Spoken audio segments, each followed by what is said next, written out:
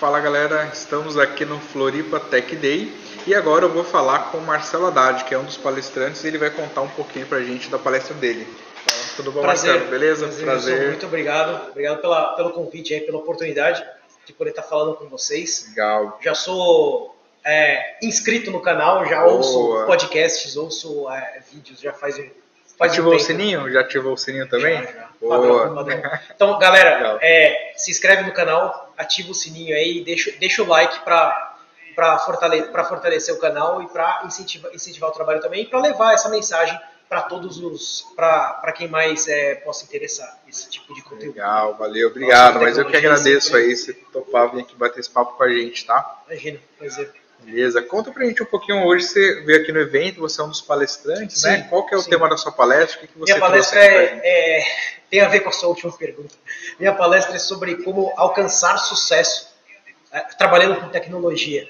Uhum. É, na verdade, é, eu ia falar sobre. Sou DBA de SQL Server por formação, né? Eu ia falar sobre SQL Server, mas não deixaram. Mandei duas sessões, falaram: não, essa de SQL Server aqui esquece. Ninguém, ninguém quer saber sobre isso.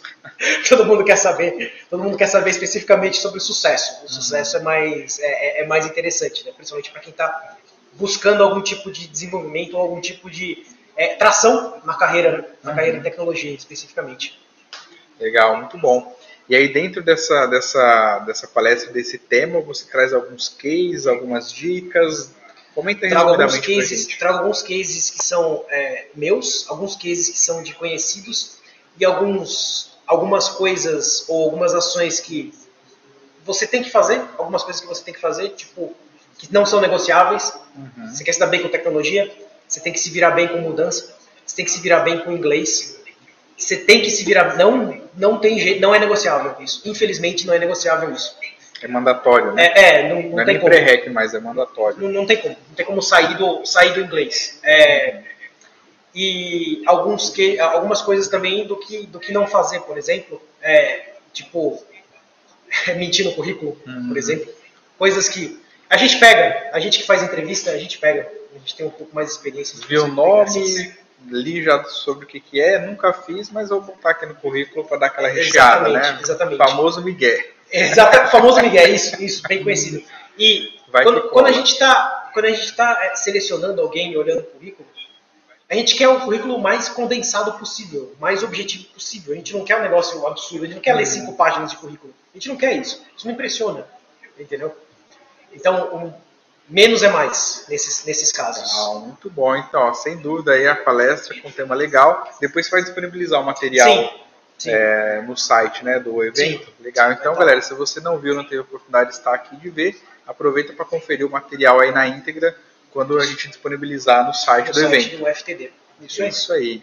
E falando aqui do evento, né? O que você tá achando do evento? Conta pra gente Tô achando, cara, é até meio emocionante falar de um evento presencial depois de Depois de dois, dois anos e e pouco.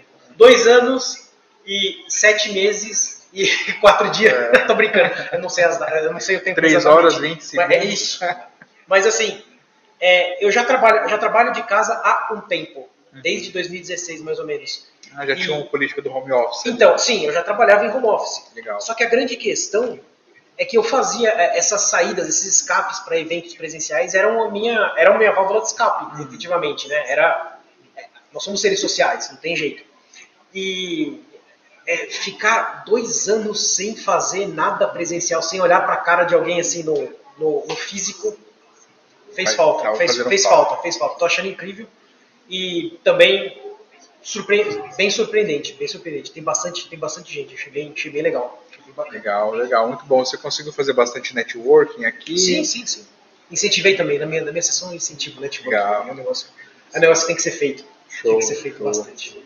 Muito bom. E realmente, esse fato de a gente estar voltando aqui com os eventos, eu até comentei, né? Acho que o Floripa Tech Day, nesse momento aqui no Brasil, está sendo um grande passo para a gente voltar a todos aqueles eventos que a gente tinha antes, né? Porque Sim, esse é o exatamente. primeiro grande evento presencial dessa galera aqui, Sim. desse nicho no Brasil, Exatamente. de tecnologia, né? exatamente.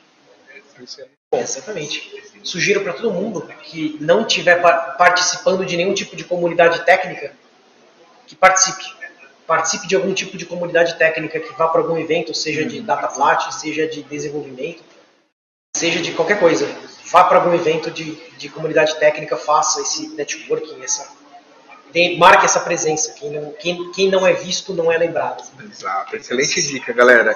E aí você vai encontrar bastante gente legal, bastante conhecimento, né? Bastante chance até de ter oportunidade de Exatamente. emprego. E... Eu não estaria, não, no lugar que eu trabalho hoje, eu não estaria se não fosse, se não fosse, se não fossem eventos de, de comunidade, esses, esses eventos específicos. Então, galera, pega essa dica aí, muito bom. E Marcelo, vou te fazer aquela pergunta que eu faço para todo mundo. O que, que é sucesso para o Marcelo Haddad? Conta para gente. Equilíbrio. Sucesso para mim, ou sucesso é, é, muito subjetivo, né? Mas para mim é equilíbrio. Para mim se resume a equilíbrio. Equilíbrio entre o que eu faço pessoalmente, o que eu faço profissionalmente, o que eu faço, o que eu, o que eu vivo com a minha família, o que eu vivo é, é, de área, de parte de lazer, o que eu vivo de tempo livre. Sucesso é equilíbrio. Sensacional, mais uma ótima definição de sucesso. É Cara, muito obrigado. Valeu obrigado por ter vindo convite, aqui participar desse bate-papo. É rápido, é, né? Tá mas é pra gente contar um pouquinho do evento. E é isso, tá? Obrigado. Valeu aí, pessoal. E até o próximo entrevistado. Um abraço. Valeu, galera. Valeu.